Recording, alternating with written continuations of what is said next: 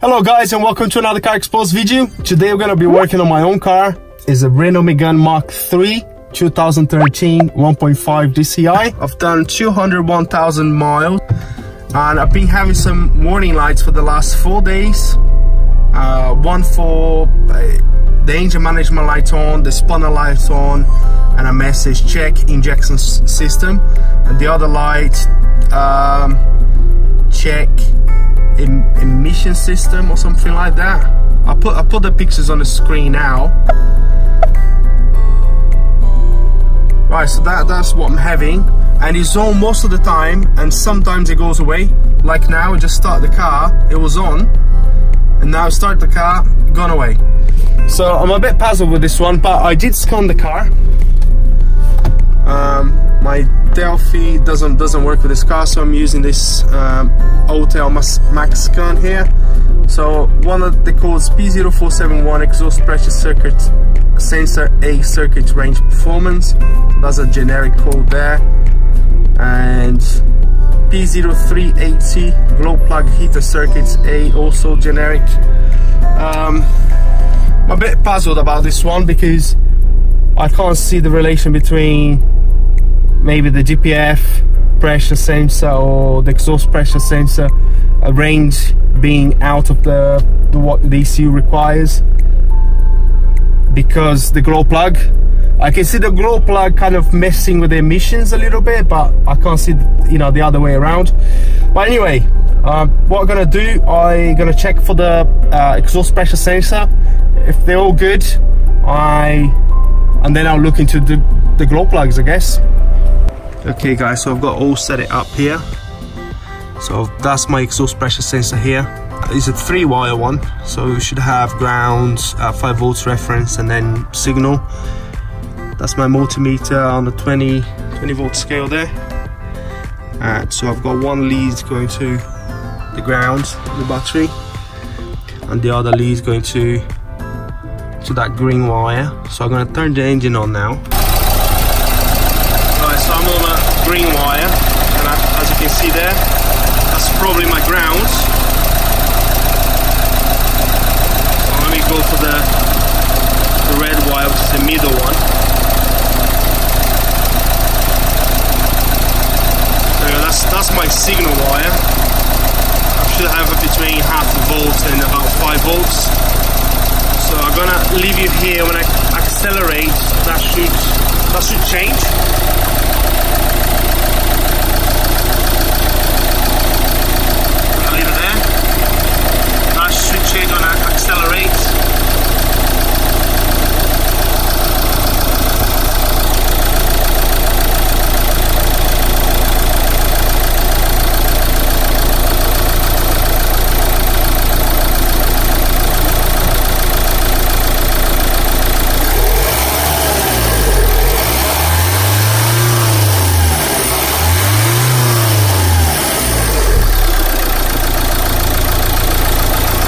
Just scored out on a 0.8 volt, so I think that's all good for my signal.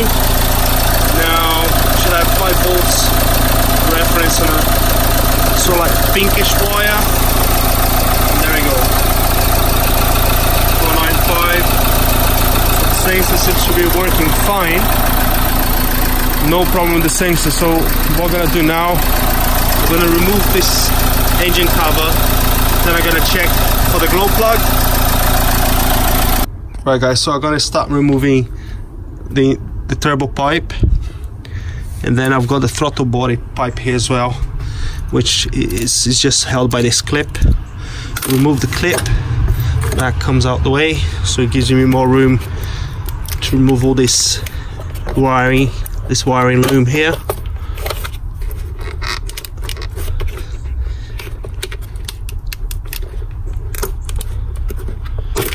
There we go. So that's out the way. Now the turbo pipe got this clip here.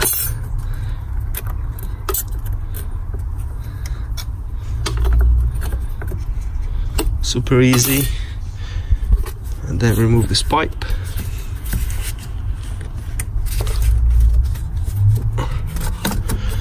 Ah there's another nuts to undo here that holds the pipe. Right and then you have another clip at the back there.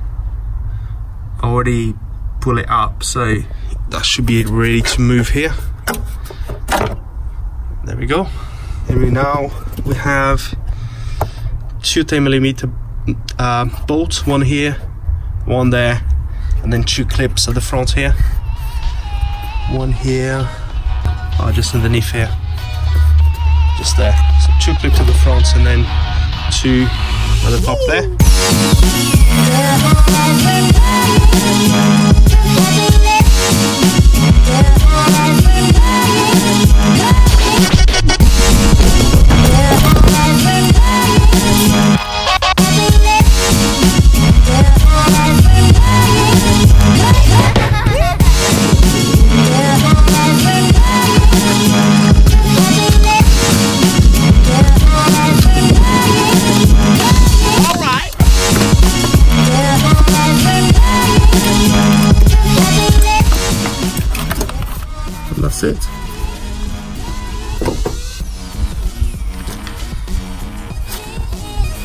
so the glow, glow plugs you can find on one in each cylinder, just between, just underneath the, the injectors.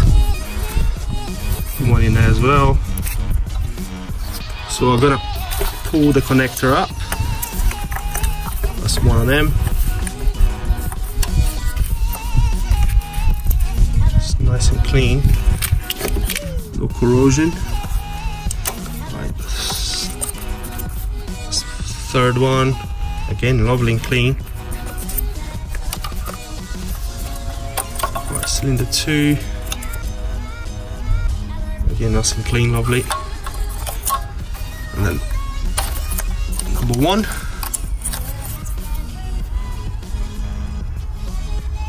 Lovely look all right actually so what can I'm do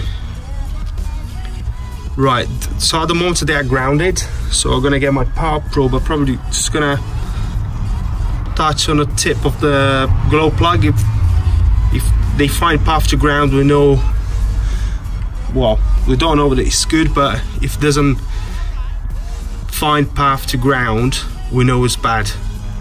Anyway and then we can take them out check for check for resistance. And if, if I find one bad probably gonna replace all of them. Okay guys so I've connected up my power probe there. And I'm using that because you can hear the beep just in case we find path to ground. But you can use your test light as well. So go number one. There we go. That's the injector there. So I know at least we know it's not an open open circuit with the glow plug there we go again off to ground and as you're doing this just make sure you don't obviously send power to anything right that third one is a bit tight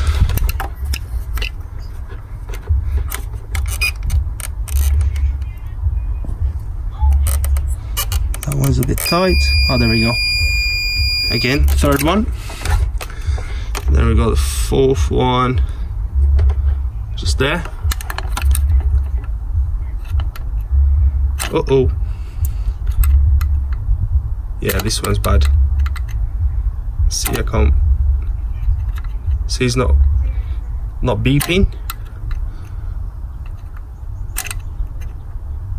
see not beeping so we do have a, a open on that glow plug so let me put them out and then we can test all, all of them. We've got all the glow plugs lined up here and I number them as well.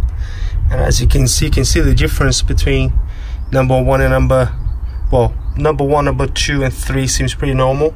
The number four you can see all the black carbon there. So definitely an issue. Discoloration there as well. We do have number one as well but anyway this car has done 200,000 miles so I'm gonna apply power to that uh, glow plugs and let's see if it glows. Right I changed my mind guys. I'm gonna do a resistance check, check first. Should be something close to zero will be good. So this is the, the glow plug number one. And as you can see pretty close to zero zero ohms. So that is a pass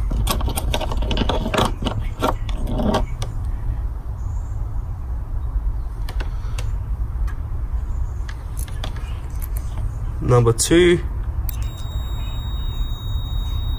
Again the same. Pretty good connection. So we've got good circuits inside. Number three. The same thing. Number four which was the one that we couldn't get connection. Open line. So the circuit. Sorry number four. So the inside of the glow plug obviously we have a damage there we have a break in the circuit. So that's definitely gonna that's never gonna that's never gonna glow. But let's do a glow test. So number one number one glow plug we know this one is good. If I apply power and you can see straight away it's smoking it should glow pretty red. And I can feel the heat. See glowing all the way down. it's pretty good it went pretty quick. I don't know how quick it, it went but so this is number one we know it's good. Let me get number four now. So this is our number four and you can see all the marks there look at that. That's definitely no good. No good for the cylinder. Apply power nothing. I can't feel any heat in my hands. No smoke. Nothing. I can literally stay here forever because there's a breakage in the system anyway so it's cold cold cold. Look at that. So that's it guys. What I'm gonna do now I'm gonna replace all of them. I do have some glow plugs in the shed. So I'm gonna go and pick that up and replace them so here we have it guys, we've got four new glow plugs, NGK. And I'm gonna fit them in.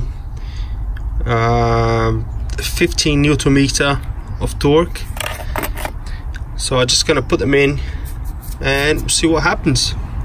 I've checked them for resistance, they were good, obviously they're new. I applied a smidge of anti-seize there, just my preference and yeah just gonna fit them in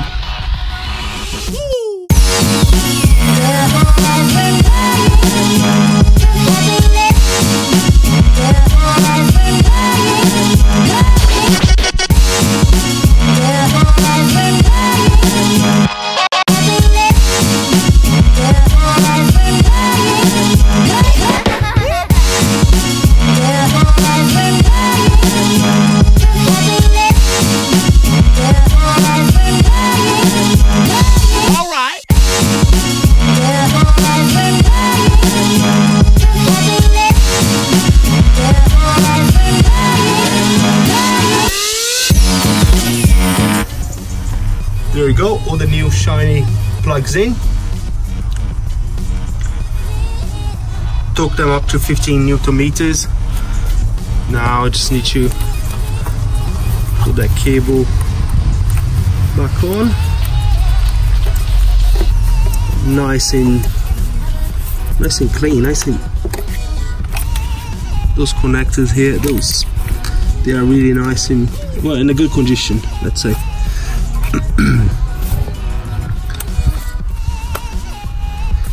That's on.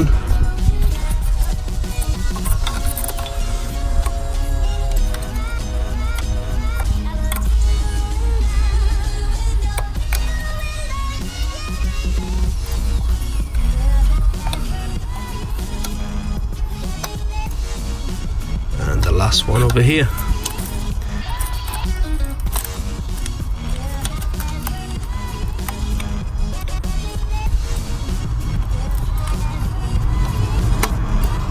That's it guys. I'm gonna put all everything back the cover back all the pipes and then we are ready to test the car.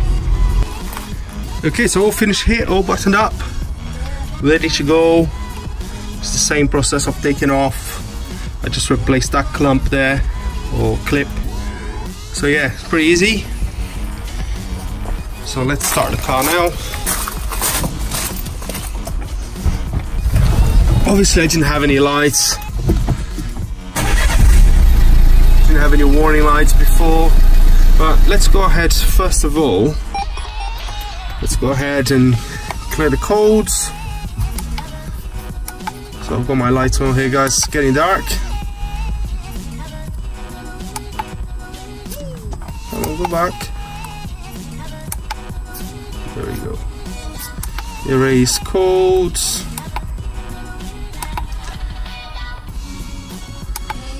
done. So if anything come back comes back no start the engine. I'm not gonna be able to see straight away because I didn't have any lights on but I'm, I can guarantee I would come out tonight and that light would come on. Obviously I didn't have any warning lights in the, in the start of the video um, so I can't guarantee there was a repair uh, but I did take pictures of the, the warning in the beginning, I showed you in the, in the beginning. Uh, so what I'm gonna do, I'm gonna drive this car for at least 100 miles tonight. I'm working with this car tonight and I can guarantee in the, in the past four or five days it has the anti-pollution uh, check system lights being on for about 90% of the time and then the injection system uh, check light probably about 60% of the time so it's all very strange to me because obviously we had a glow plug problem. The glow plug was was gone and the injection system light would come on just 60% of the time. You know it should be on for me in my opinion should be on all the time so I, I don't really understand that. Uh, we checked that sensor for, for for the exhaust pressure and that was working okay. I actually afterwards I, I removed the pipe from the sensor and blow the, the, the pipe and there's no blockage. Um, so could it be the glow plug that was causing all this issue? I don't know. So it's, it's, a really good question. So what we're gonna do I'm not editing this video obviously now. I'm gonna drive the car for at least another week and then I can put it on the screen here if it was the problem or not